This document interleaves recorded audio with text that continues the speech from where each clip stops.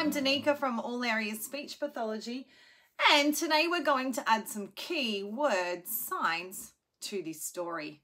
So when we're using keyword signing, we are using an English grammar. So we're following the words like the story. Our voice is turned on, so we're speaking at the same time. And we're using slow, simplified speech. Let's see, what's the title of the book?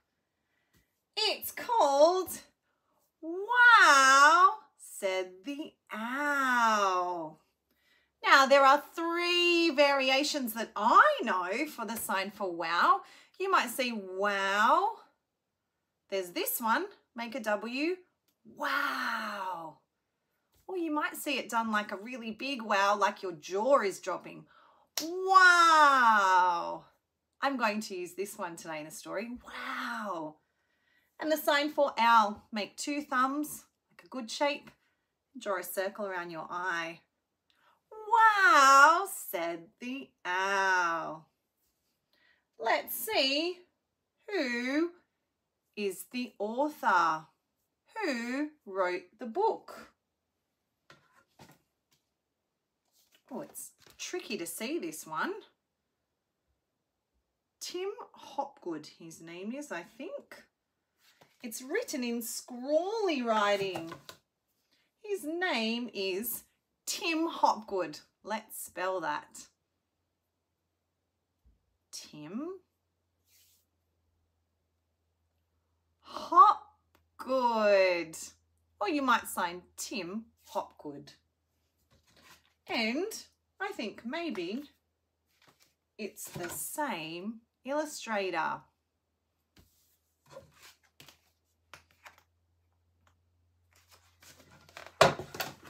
Wow, said the owl.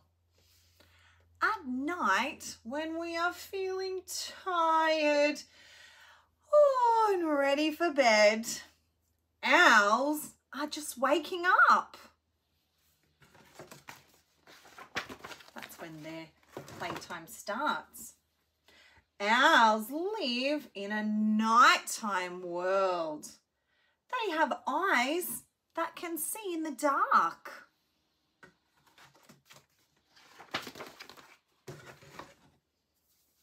But this little owl was a curious owl. Instead of staying awake all night, as little owls are supposed to do, she took a long nap or a long sleep and woke up just before dawn, sunrise.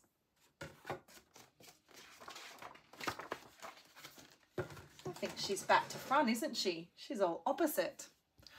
Wow, said the owl. She couldn't believe her eyes. The sky was warm and wonderful pink.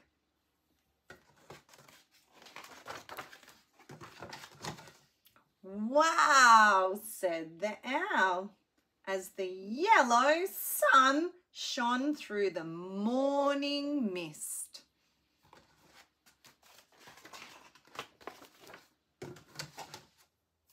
Can you remember these words? Wow, said the owl as white, fluffy clouds floated across the bright blue or blue sky.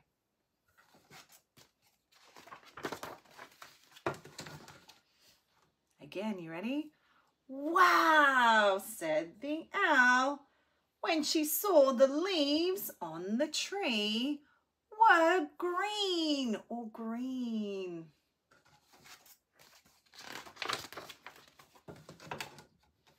There's lots of colours in this story, isn't it?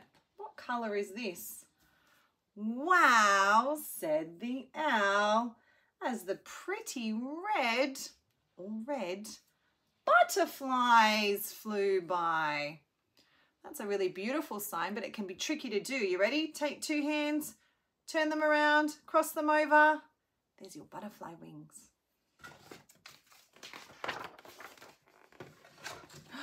She watched them land on the bright orange flowers or flowers which opened up in the warm sunshine.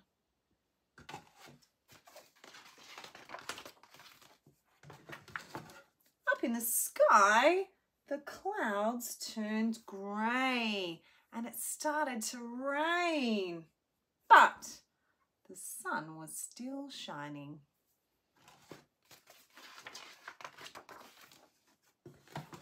Wow, the owl as a beautiful rainbow filled the sky with colour.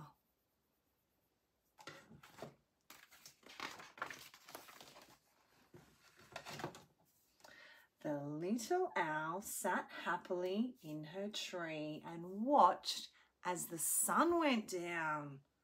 Sunset. And the moon came up. The daytime is full of beautiful colours, she thought.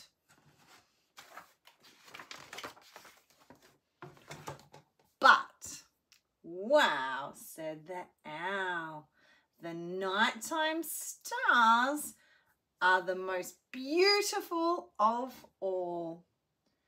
Too excited to sleep, the little owl stayed awake all night long just like little owls are supposed to do.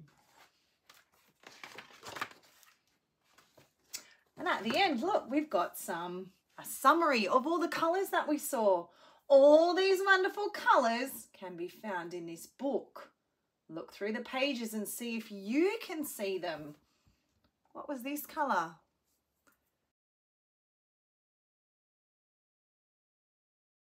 Yellow. This one.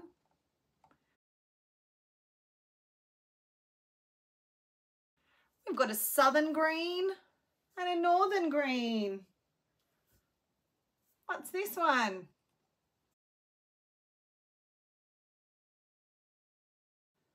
Blue. We've got a southern blue and a northern blue.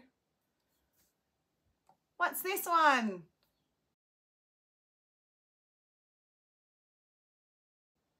It's dark blue or dark blue. What's this one?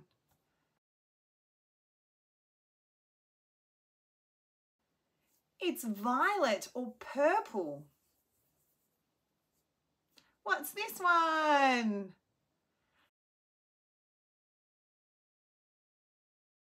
That one's grey. What's this one down here?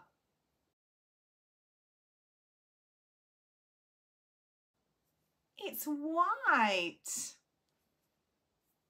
What's this one over here?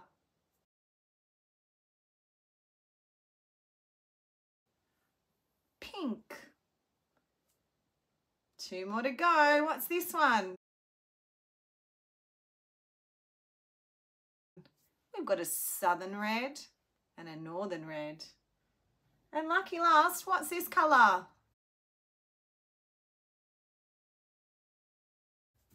Orange. Lots of great or fun ways to learn some colours or signs that go along with the colours. And we're reading, wow, said the owl, when he got to see all of those beautiful colours throughout the day. Thanks for joining us today for Story of the Week. I hope you enjoyed listening while we added some keyword signs to the story so individual signs, slow simplified speech, and focusing on the key message or the main thing that we're trying to share. Thanks for joining us today. We'll see you next time. Bye.